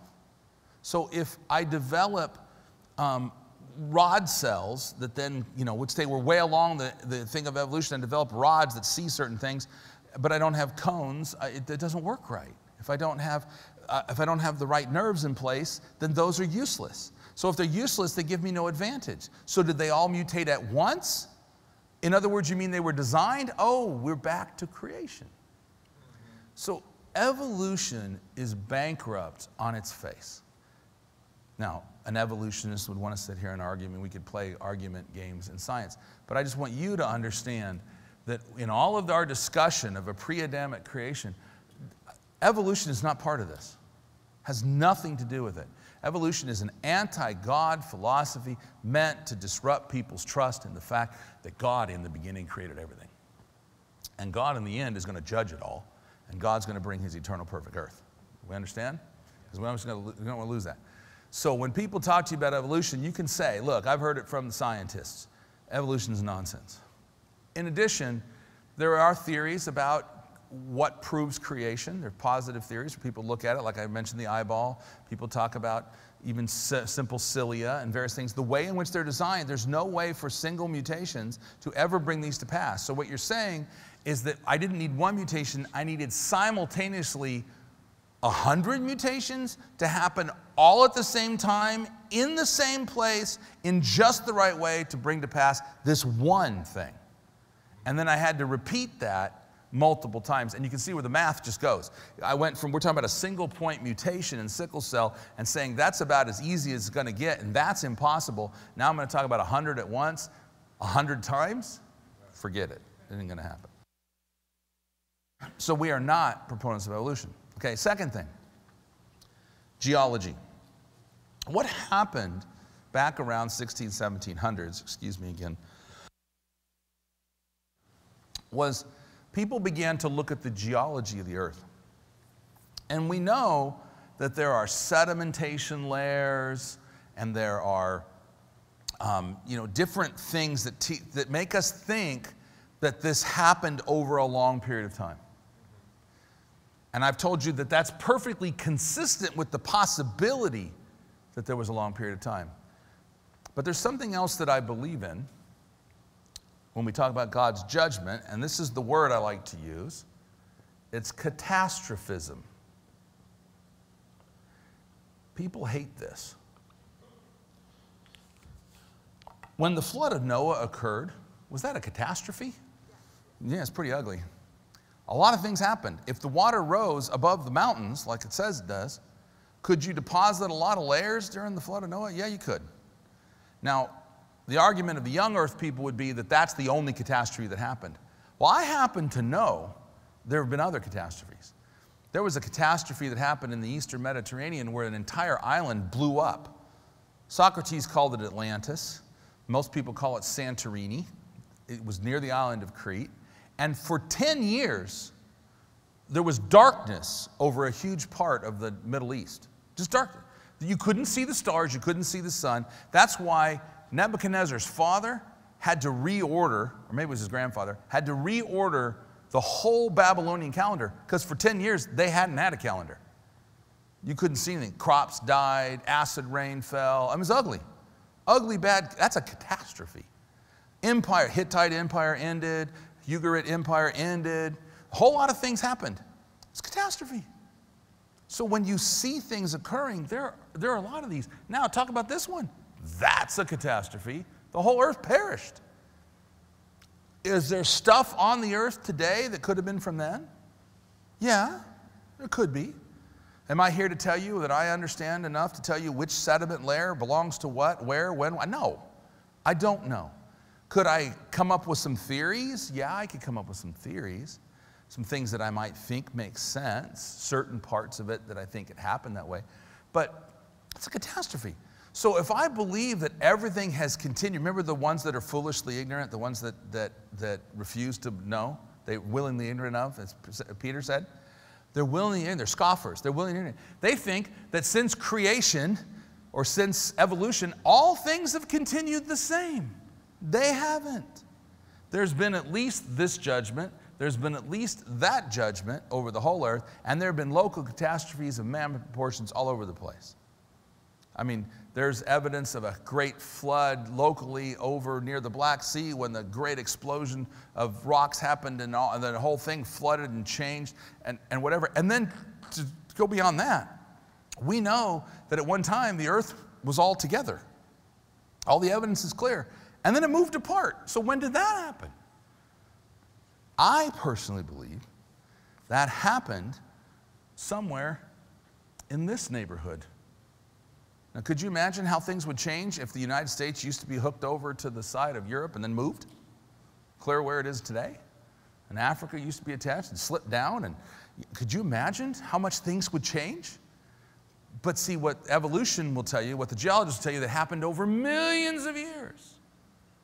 It didn't have to happen over millions of years. So I agree with the young earth creationists who try to make these arguments. Well, why do we find fossils on the top of mountains? Because there was a flood to the top of the mountains twice. Not just once, but twice. Right? Does that make sense? Yeah. So we don't believe this because science taught it to us, but when we believe this and we start to look at what the science says or what the things we can observe say, we can begin to understand. And we can look at the young earth creation goes, I, I hear what you're saying. I agree evolution's crazy. I agree there's no missing link. I agree that all these things don't make sense. I agree that there were catastrophes. Absolutely agree. It has nothing to do with our belief in this. That's why I tried to focus this on the origin of sin. That's why I believe in this. It's the origin of sin and my understanding of where we're going. And it informs my understanding of what God is doing and I believe it's a more rich understanding of it. But science is crazy when it starts to try to tell you it understands where things came from. The idea that we were created is so screamed out by everything you see. If you walk in here, do you know that somebody ordered these chairs? Or do you think they just dumped them in here with a dump truck and they happened to fall this way? You know somebody put some work into it. Somebody did it. We can see the hand of men, but we can't see the hand of God. Why? Because they want to reject God. Remember when we studied Romans? When they knew God, they did not glorify Him as God. But their foolish heart was darkened and they refused Him and they turned to things that they could hold and handle and touch in a different way. And they began to worship the creation more than they worshiped the Creator. This is what they did. And when they did that, because of the darkness of their heart, they were given over to a reprobate mind to do all those things which are not convenient and all the sins that we see so called lovingly just another lifestyle these days. They're sin, they're horror, they're horror upon men because they have rejected God. The whole purpose of evolution, the whole purpose of arguing for the geology being so long isn't because they believe in all this stuff. It's because they were trying to prove that the common belief, the real common belief at more modern times was, oh, or the earth was created 6,000 years ago, because some guy sat down, added up the years, and came to a conclusion. He never read the Bible, he just added up the years. You know, the people who's decided to set our calendar, so they call it, you know, they've changed the term now. It's, it's, we call it BC and AD, right? They, they call it now the common era and before the common era because they don't want to acknowledge Jesus in anything, okay? But when they said it, when did Jesus die? Probably about 30 AD. So when was he born? Probably about 4 BC. So the zero wasn't even set right when somebody did the calendar. People get that wrong. But the point of it is this science tells us things that are true within the realms of the observer and the observed. God tells us things that are true regardless of the realm of the observer and the observed, because God sees all things. He understands why things were made, He knows what's going on. So we already talked about how science is limited. So you need to know that evolution is crazy, and it is. I don't understand why anybody believes it. There's only one reason that any concept of evolution is held to by anybody, and that is because they must reject God. They must. Because to accept Him then is going to have to understand that there is a holy God to whom they owe allegiance and to whom they have to bow at some point and they cannot entertain that in their thoughts. Therefore, they must reject him. Therefore, they must hold tightly to their atheistic viewpoints. And in their atheism, they must come up with theories and then call you silly and foolish for believing anything else. And no, we did not come up with this idea to try to join with the science crowd against the creationists. We are the creationists. We're very much believers in a literal creation, in a literal Bible, in a literal God, in a literal heaven, a literal hell, a literal judgment to come. We're very much those believers. And so, what's funny about being who we are and standing here is we're probably as true to the Bible as you can get, but yet the people who claim to be true to the Bible make fun of us because they think we're joining with science, and science makes fun of us because they think we're trying to hold on to these old beliefs while keeping science. Do you, do you see? I always like to be in the position where they're wrong and they're wrong and they're both calling me wrong, so I'm probably okay. Because neither one of them wants to embrace me. The scientists don't like me because I'm telling them, yeah, well, if you look at science for what it really says, that fits with the Bible very well. But on the other hand, the creationists are pointing at us saying, oh, you're just trying to be a scientist, and no, we're not. We believe this because that's what the Bible says. Science comes second. All right. So I did that sort of in a weird way, but what I wanted to open up to you was this discussion of science. And I wanted you to understand what it is. Because we're not anti science. We're not. But we understand very clearly the limitations of science. It is limited, intensely limited, because it's limited to what I can observe. Now, I can build a bigger telescope to extend my sight to a larger realm, I can build a, a finer microscope to look deeper into the small. I can amplify the sound so I can hear it differently. I can speed it up or slow it down to hear different patterns. I can do a lot of things to extend my senses, but I'm still limited to my senses. There's an angel with me. Everywhere I go, God says He sends forth His angels, His ministering spirits for them who are heirs of salvation. So I happen to know there's an angel. Do I know what he looks like? Do I know where he stands? Do I know all he did? No, I don't. Could I know more? I like to believe I could, but I don't. And so there's an angel that goes with me and watches over me and does all these things. And you too, if you believed on Jesus at least, we know that's true. We got an angel. I can't see him. If he were here, I, he, he, my arm's always over here, Doug says. Well, I got to go over here.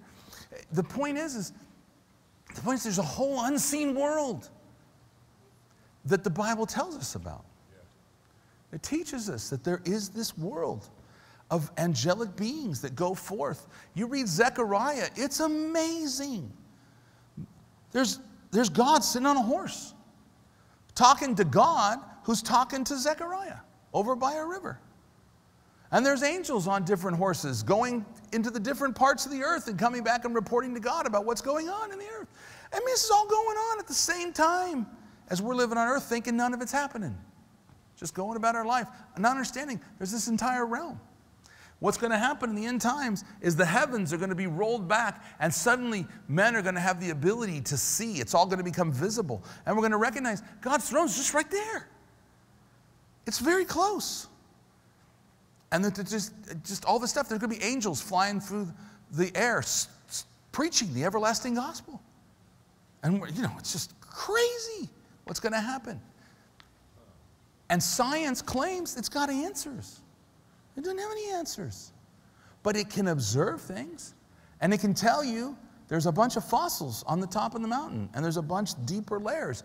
And they can dig and they can tell you, we found this and we carbon dated it, and it's really old. And carbon dating is nonsense most of the time anyway, I think. I don't trust carbon dating. But I mean, if it tells me it's a billion and it's off by a factor of 10, I mean, it's still a million, what, 100 million?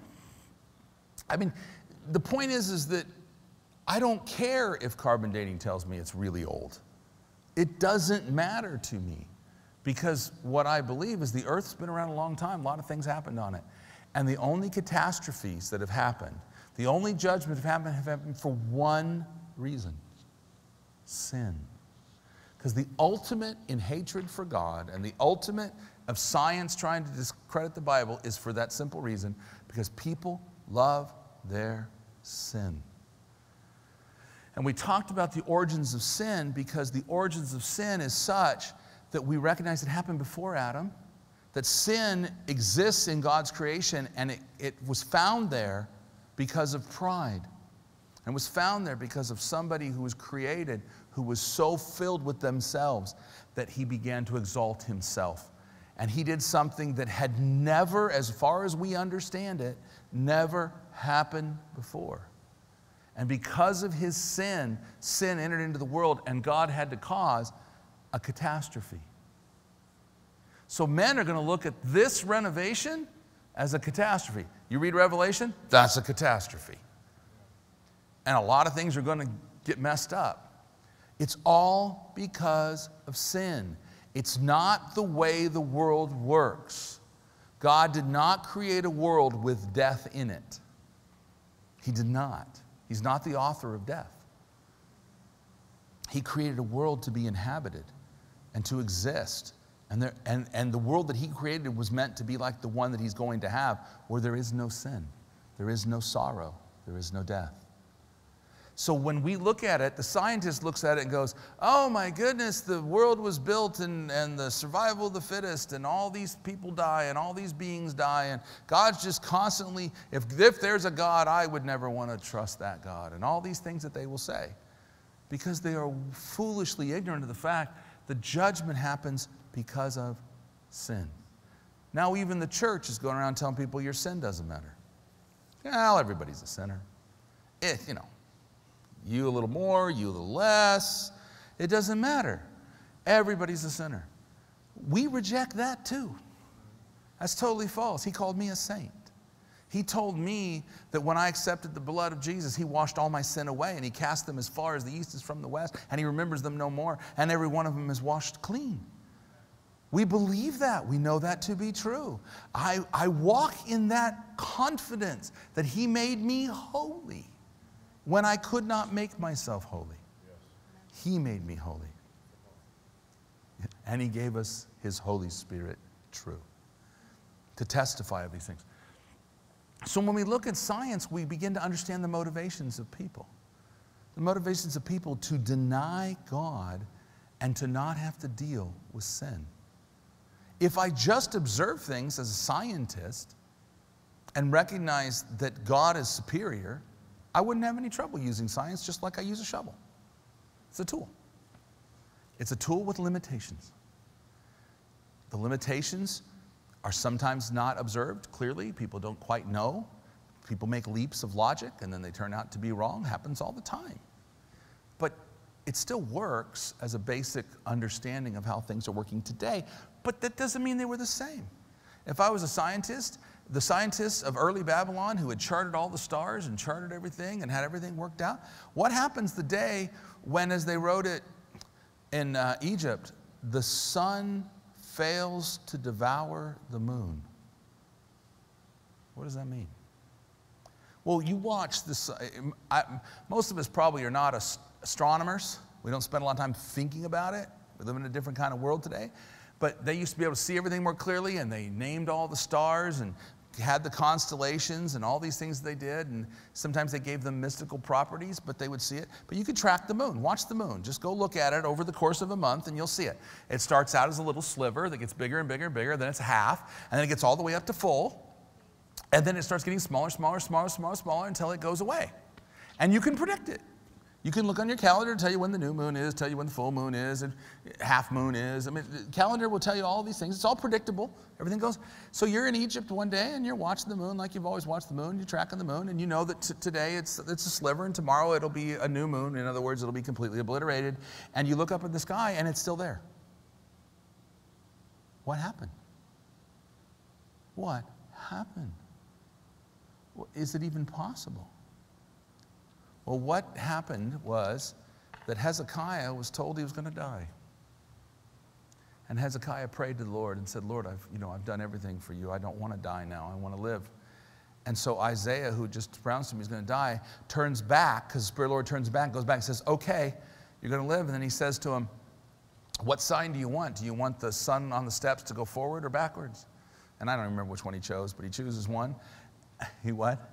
He chose backwards because that would be harder. So God made it go backwards. So, in other words, in the rest of the world, what you see is how the earth is and the moon are moving along. Suddenly it goes, click, clicks back a click. And so that they look up the next day and the sun didn't devour the moon. Something happened. God did something that was much bigger. And people today can't figure out what this is talking about. To me, it's obvious. It's, it's so obvious what it's talking about. That's a great thing, but science would be wrong because it's predicting it's going to go away, and then click, it doesn't go away because God did something for his man Hezekiah. Isn't that amazing? You think about it? So we get all full of ourselves, thinking we understand all things about how they're going to work and we know what's going to happen. And the stock market's been positive over any period of time for the last, you know, hundred years, right? If you put your money in the stock market for 30 years, any pick, pick any 30 year period over the last 100 years and you would have made money, blah, blah, blah, blah, blah. So that doesn't tell you anything. And they will even tell you past results are not prediction of future returns. Doesn't tell you anything about what's going to happen tomorrow. And if God steps in, he can just turn the sun back a day. Isn't that amazing? He just did it. He did it for his man Hezekiah because he loved him. Would he do the same for you? Well, he did it for Joshua. Joshua told everything to stand still. How long to stand still? Long enough for him to get the job done. It all stood still. Well, would the earth survive if it stopped spinning today? Now, as far as we know, our prediction scientifically is the whole thing goes to kablooey if it stops spinning. Everything would be wrong. But it did for a little while. Why? Because God's man commanded it to do so. There is a higher place than what science can tell us. So I hope that from that discussion, you will begin to be able to talk to people. You don't have to wow them with your knowledge of science. That's not the point here. It's the point for you to understand what science really is. It's very simple, the limit of what we can observe. It's that, that's it. Mathematics is the foundation of science, and it's a complete construct of man. We made it all up. And it works up to a point. But does it explain anything? Only when it's applied to observations of the world that God made. Then it can be useful in a sense. We can apply our understanding of how to describe physical laws using mathematical terms so that we can translate it into other systems. So people say, well, mathematics is true. Well, not really. Mathematics is a construct of our mind meant to help us to explain what we observe. That's all it is. So, back to defining science. So when you talk to people, you can limit it to this way. You can tell them, here's the limits of science. It's limited to what you can observe. And you claim to understand. You're wrong. But within the limits of what science can do, it's extremely successful way because you're looking at what God made. And they were right. The sun should have devoured the moon. It happened for months and months and months going on for thousands of years. It had worked perfectly as far as they knew or as long back as they had records. And suddenly, guys write down, the sun failed to devour the moon. Many people interpret that, oh, it must have been an eclipse. And then they get all this, you know. No, it's when Hezekiah had the sun back. And so we understand that science, while it is useful to us and helps us to look at these things, knowing that these are true by the Word of God, helps us to look and go, okay, it makes sense that there's dinosaur bones on the earth. Because the dinosaurs were from the old world. That's where I would put them. I put them back here. Okay? That's where I would put them. People will argue, well, maybe there were dinosaurs before the ark, you know, in the world. Well, I don't know. Maybe there were some kinds. Maybe there were woolly mammoths. Maybe there, I, I don't know. I'm not an expert on where all the bones were dug up. But the point is that I know that there were catastrophes, so I agree with the young earth people, a lot of catastrophes that make things look different than science predicted to be, because science, being willingly ignorant, thinks that everything's just been the same. And we've just given you example after example where it hasn't always been the same. And a lot of crazy things have happened. So, scientifically, when you hear people say, I have scientific evidence, and you ask them what it is, most of the time they're claiming something that science will never say. Science does not prove evolution. Evolution is a construct that works to explain certain phenomena that they observe, therefore, they continue to utilize it. Okay? So let me ask you this question. If you walk into your house and you find a whole bunch of, of uh, toys built, I got, a, I got a few Lego blocks stuck together here, and then I got a bunch more stuck together in the form of a little ship over here, and then I got some stuck together in the form of a castle, and I got some over here stuck to the, in the form of you know, a gigantic city. Do you come to the conclusion that the big city evolved out of this little construct here and it caused them to come together? Or do you believe that each one was created independently by the little kid who was building? Now, it's a simple example, but when we look at DNA and they say, oh, look, there's similar structure of DNA in all these different animals going way, way, way down to the simplest, all the way to the most. Therefore, they must have evolved. See the conclusion? It must have evolved because there's similar DNA all the way through the construct. No, it doesn't mean that. It means that when the creator made stuff, he used the same Lego bricks for everything. Okay? It's really what it means. I like Legos, so I use Lego as an example. and it's a great example because most people can relate to the fact that Lego bricks are the same, whether you're building a castle or you're building an airplane or you're building a little, you know, whatever. Just a couple of pieces stuck together. It's the same building bricks, but the creator can do different things with them. In the same way, DNA is a construct that is used to make individual um, beings of varying types, including men. It's an earthly construction brick that God used. So when people start to tell you, well, it had to evolve because it's all similar, that's just stupid. It didn't have to be that way. Why would they believe that? Because they can't believe there was a creator putting them all together. Because back to Romans, they knew God, but they had to acknowledge him not as God. Therefore, they had to diminish him and they had to do something with him. So, some people will tell you that he's far away and he's not involved. That's false. He's very close. And he's intimately involved in men. And he doesn't allow anything to happen on earth, but he gets his okay. And you know that's even more true now than it was back in Noah's day? What's the biggest, biggest change in the world that ever occurred? Jesus. When Jesus died and rose from the dead, do you realize that the entire world changed? Everything about the way we interact changed. Because all the powers of darkness were completely defeated. They have no authority. The only thing they have left is a lie. That's all they have. And their lies still hold men in bondage because men, being like those men of the older days, begin to want to reject God. So the whole plan always is to reject God. But when Jesus came, he holds back, as we said earlier, he holds back lawlessness. He holds back sin. He holds back destruction. With his church in the earth is the representative God on the earth. It manifests that God is intimately involved in these things.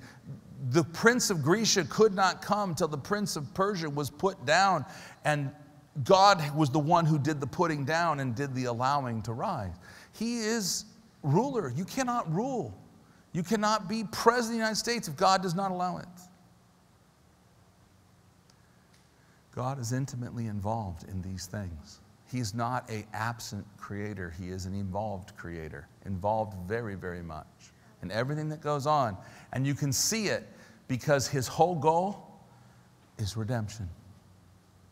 His whole goal for each individual, for you, you, you, you, his goal is redemption. For the world as a whole, his goal is redemption. For every nation, his goal is redemption. For the nation of Israel, his goal is redemption. It's to bring them back. That is our God. That is our loving God whose purposes are found in these things. This is what he does. And so the scientific observable evidence is there is a creator. We might differ about which lever he moved, about whether he did this or did it that way or what mechanism he used, and we could argue about those things, but if the Bible doesn't tell us clearly, we don't know. I know that there was a prince of Persia that had to be put down because the Bible told me. I know that the archangels went to do it and took two of them to get the job done, but they had to do it so the prince of Grecia could rise. I know that because the Bible told me. I can extrapolate that to believe that God was doing that at other times as well. I know that, that when Daniel prayed, that God wanted to send the answer immediately, but it was hindered because of the powers of darkness. I believe that today, because of Jesus, it's no longer hindered. That's why Jesus said, You can ask the Father in my name. Just ask him, he, he'll hear you. You don't have to have a mediator any longer. You just go to the Father and ask in my name, it's done. That, that's the world we live in today. It's totally different.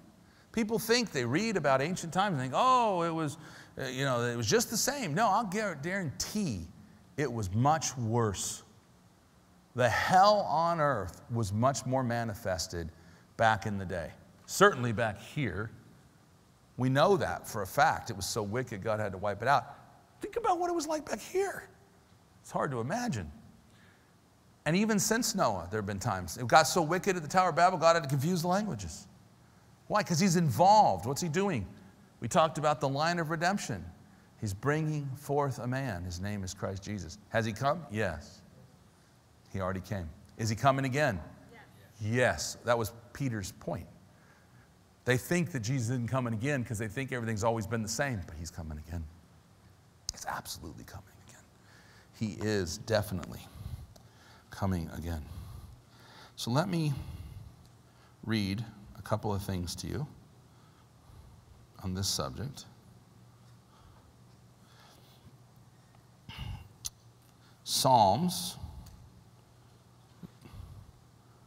148, verse 1. Praise ye the Lord. Praise ye the Lord from the heavens. Praise him in the heights. Praise ye him, all his angels. So we know angels exist. Praise ye him, all his hosts. Praise ye him, sun and moon. Praise him, all ye stars of light. Praise him, ye heavens of heavens, and ye waters that be above the heavens. Let them praise the name of the Lord, for he commanded, and they were created. He has also established them forever and ever. He has made a decree which shall not pass. And this is gone. We believe this. God created everything by and for himself. Praise the Lord from the earth, ye dragons and all deeps. Wow. There's deeps and there's dragons. Fire and hail, snow and vapor, stormy wind, fulfilling his word. It's all there because of what he put in place and what he spoke. Mountains and all hills, fruitful trees, all cedars, beasts, all cattle, creeping things and flying fowl, kings of the earth and all people, princes and all judges of the earth, both young men and maidens, old men and children, let them praise the name of the Lord, for his name alone is excellent. His glory is above the earth and heaven. He also exalts the horn of his people, the praise of all his saints, even of the children of Israel, a people near unto him. Praise ye the Lord. It doesn't matter where you find yourself, what's going on, God is above everything. Mm-hmm. And He controls everything. And He's involved in the kingdoms of men. In fact, Nebuchadnezzar declared it very clearly I now know that God rules in the kingdom of men. And that's back then.